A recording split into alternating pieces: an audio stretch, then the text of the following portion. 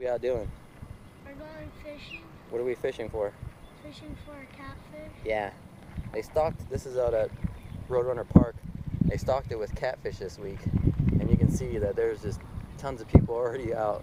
So these community lakes, the Arizona Game and Fish Department will come out here and they'll stock it with catfish in the summer and trout in the winter. And sometimes they'll stock it with uh, bluegill and sunfish and bass.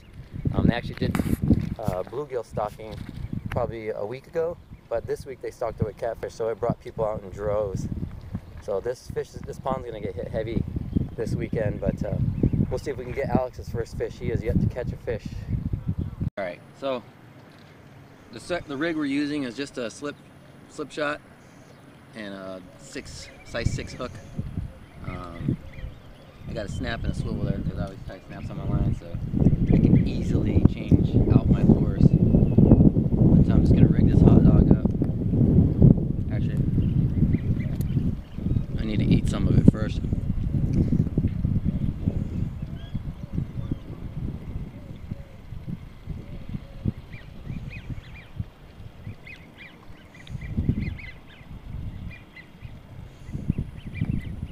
Uh, it's coming off how I wanted to rig it. I'm gonna have to do another one.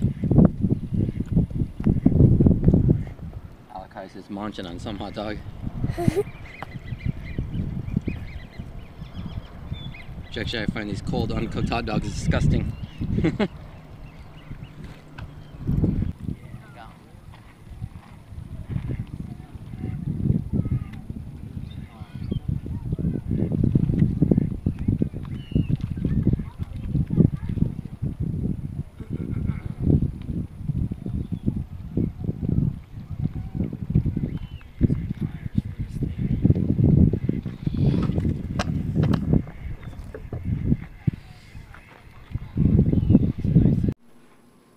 planned on going and catching catfish, but we uh, caught this bluegill or this sunfish.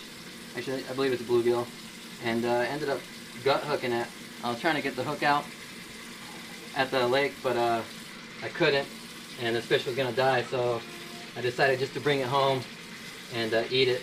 Any fish that I caught today, I was just gonna catch and release, even if it was a catfish. So I, I've eaten them before. They're not my favorite fish. I really prefer just to eat striped bass. But there was tons of people at the lake today catching, or at the pond today, at Roadrunner Park, catching catfish, uh, and a lot of people were keeping them, which, uh, you know, Arizona Game and Fish put out that they were going to stock the lake this week, and uh, there were tons of people there. It just goes to show you that once they put these fish in those ponds, the people go out and they fish them out right away, and uh, kind of gives you an understanding as to why certain YouTube fishermen won't give away their secret spots because people will just go in and they'll just they'll fish it out right away. So how many people were there today? I, I wouldn't be surprised by you know the beginning of the week. There's not going to be any fish in there. Now this isn't a huge bluegill, but I'll be able to get a small fillet off of it. Um, some people will just cook it uh, with the with the skin on and everything, but I like to just cut a small fillet out of it, throw it in the pan, and, and eat it that way. So I get it cut under the grill, the gill here. And I use a, a cloth because uh, sometimes the fish is slippery and, you know, the barbs have poked me before. So right here, the heart is and the guts are down in this way. So I'm cutting at an angle. Uh, if I cut at a sharper angle, I'll miss the heart and it won't get as bloody. Sometimes, a lot of times actually I hit the heart and it's, it gets blood all over the place, but, you know, that tough. Sometimes it just happens that way.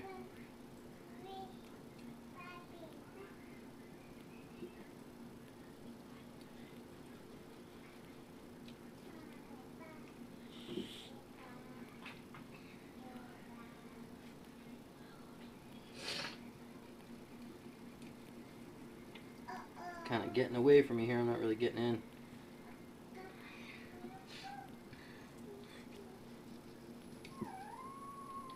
Knife could be sharper. Yeah, see, I already I severed the heart.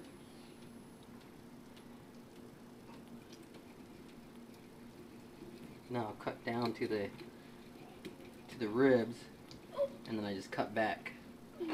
What's the matter, Alec? huh? It's disgusting. It's disgusting. Mm. Uh, that's if you're gonna do if you're gonna kill a fish, you might as well learn how to cut it and deal with the nastiness of its guts. Okay. So now that I got this uh, this piece off, like I said, I'm not gonna get a big fillet off of this, but it's a panfish. Here, watch out, Alec. I- Let me put this stuff in the bag there. I don't see it. Oh, So there, I got it. I can keep it uh, the skin on if I'd like to cook it like that, but uh, I'm not a huge fan of the skin being on it when I eat it.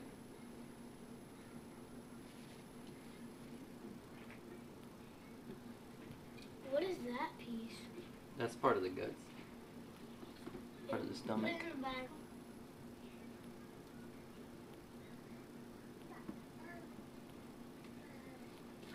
Yes.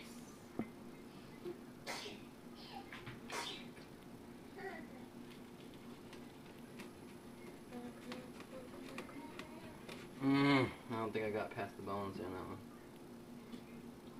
one. Actually, oh, I did. I can, I'll be able to cut the bones out. Alright. It's gonna. In. There. Piece of the fish. That's the in the fish's skin. Cut this little small fillet off of it. I'm gonna cut the ribs out off of it right there. So I have a small fillet that I'm gonna cook. I put it on medium heat, and I'm just using a little extra virgin olive oil.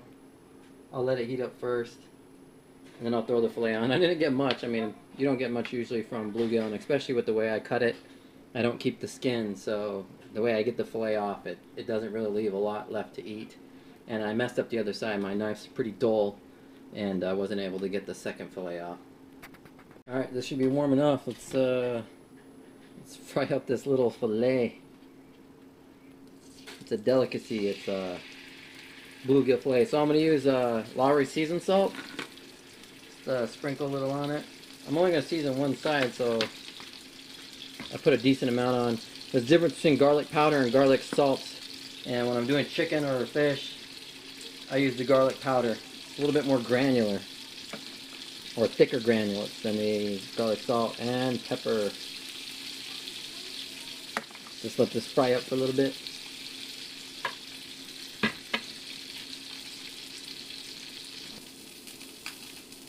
I flipped it again, it's getting nice and brown.